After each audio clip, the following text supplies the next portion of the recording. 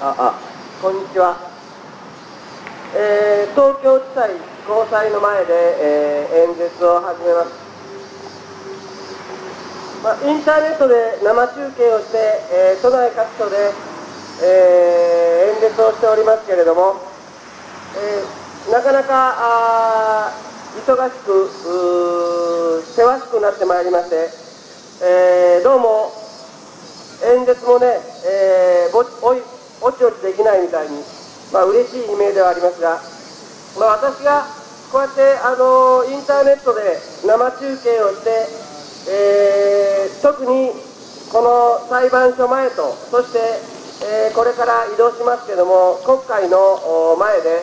演説をしておりますのは、国民というのはこういう自由な表現ができるんだ、活動ができるんだいうことを端的にね、表す象徴的な場所として、この東京地裁、高裁、そして、えー国会の前、えーこれをね、選んでいるわけです。この国は自由な民主主義の国だと言われている。法治国家だと言われているけれども、果たして本当に自由に国民が表現できて、そして法治国家の名前にふさわしい役割を裁判所が果たしているのだろうか、まあ、これにですね大きな疑問があるわけです。日本はこの東京の大都市を中心にしてこの東京地裁高裁のように地方の隅々に至るまで裁判所が一応機能している。この裁判所の裁判官たちの人事権を持っているのは最高裁。最高裁の判事は15名。そのうちの1人が最高裁の長官ですけれども彼らは全国の裁判官の人事権を掌握しています。その最高裁の判事たちが時の政権の内閣によって指名され天皇によって任命されるという事実上政権下に人事権を握られているゆえにこの国では今まで戦後66年自由だ法治国家だと言われながら最高裁以下裁判所は国家政治家の言いなりになってきちんと正義の判断ができてこなかった。政治家の下に裁判官たちの人事権が握られている。これがこの国の法治国家という看板をただのかけられた看板だけに法治国家という中身がない。人事権を握られた裁判官たちがどうしようもなく時の政権下に軍門に下ってしまった。これはもう事実だと思います。私たちはこの法治国家たるそのゆえんである裁判所の権威裁判所の判断判決がですね本当に真実国民の権利に寄するように国民の権利のために国民の権利を守るために裁判所が機能するように裁判所が判断を下せるようにもうそろそろこの国の法治システムを直さなければいけない。悪いところは改めもし構造的に欠陥があるのならばそこは直して本当に裁判所が裁判所が裁判官が国民のために判断ができるように我々国民はここを直しなさいというふうにですね裁判所に法務省にきちんと伝えなければいけない。まあ、ポイントは先ほど言いましたように裁判官の人事が政治家に握られている。ここにつきますからね。まあ、機能的には今、政権交代が自民党からあ政権交代がなされて、自民党から戦後64年目か65年目でしたかね、自民党から民主党に政権が移った。ですから、裁判所はこの政権交代によって、本来であれば、裁判官の人事を握っていた自民党系列の人事人脈から逃れてですね自由に自民党の呪縛から逃れて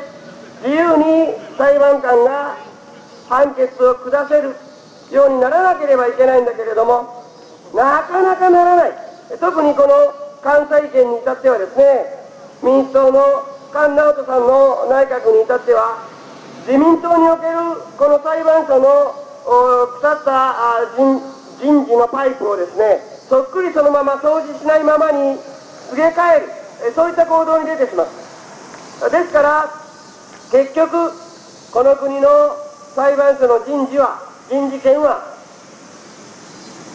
政治家たちに握られたまま政治家はその特権を離そうとしない。ここが問題ですよね。ですから私は、まあ、解散総選挙しばらくはまだないと思いますけれども解散総選挙等々この衆議院の任期切れ近くまで、え、流されるようなあ状況になってまいりましたけども我々は国民が持っている権利として憲法79条の3項国民審査権これをきちんと国民が行使できる体制を作るこのことに尽きると思います我々国民は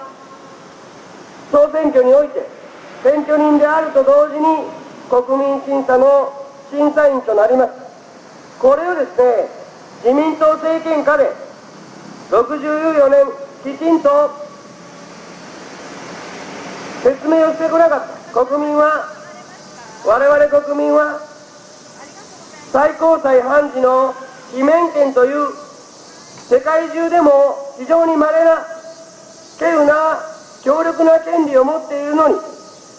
我々国民はこの最高裁判事の罷免権という国民審査の権利を認識してこれなかったここが私は国民にとってある意味最後の砦ではないかと思っております。我々国民は今この私の演説をインターネットで生中継しておりますがこのようにインターネットという大きな大きな武器を手に入れた。まあ政権が時の政権が情報を握って支配者階層が非支配者階層にですね情報を流さない支配者が情報を握って情報を操作する、まあ、これは歴史上繰り返されてきたことですけれどもまあ、遡ればはるか人類が政治や市民活動などを議論するはるか昔からようやく我々人類はこの15年ぐらいの間にインターネットという情報ツールを持ってですねようやく一般市民が一般市民同士で真実の情報は何かということを共有することができるようになった。私はもうこの流れの中で国民が今までのように政権に隠された国民審査権を見逃すことはない。確信しております。私が言わなくても多くの方がもうこの国民審査権の権利については気がついています。最高裁判事の罷免権。我々国民は国民審査で投票する。その投票の過半数をもって不信任の罰印をつけた裁判官を罷免することができる。私は国民に対してですね我々国民は全ての最高裁の判事に罰をつけろ。このように鼓舞しております。我々国民は今までこの国民審査という権利を政権に隠されてきた自民党を中心とする政権に国民審査権を隠されて裁判所に対する国民の唯一最後の大きな武器である国民審査権を見失ってきた。しかし我々国民はインターネットを手に入れた。このインターネットの情報の共有によってもう我々国民がこの国民審査権を見失うことはない。来る解散総選挙に伴う国民審査。まあ民主党はねあと2年はなかなか解散しないでしょうけれどもね。しかしそれを準備期間として我々国民はこの国民審査に今から備えなければならないと思う。新しい総理大臣が誰になるのかは別にしてなかなか今の情勢では政局は安定しない。しかし政局が安定しないからこそ我々国民はその政治の本質がどこにあって何が悪くて政局が揺らいでいるのか政治が真実のままに国民の利益のままに活動できないかを見極めなければならない。自民党が政権をたらい回ししたように民主党もこの衆議院の過半数を握った以上なかなか多いそれと衆議院解散はしない。おそらく2年後でしょう。その解散総選挙に伴うえ国民審査においては今から我々国民は準備を怠らず情報を共有してインターネットで意見を交わすすべ全ての裁判官に罰をつけろこのことをですね国民審査で行動するように確認をする。これが必要だと思います。全ての裁判官に国民審査で罰をつけろ。放送するんならやめますよ。そちらのカメラの方。放送するんならやめますよ。まだ大丈夫ですか？やめましょうか？はいじゃあやめますね、えー、別の方が活動するようですので私は遠慮して国会前に移動したいと思います。どうもありがとうございました。国民審査権のことをお伝えします。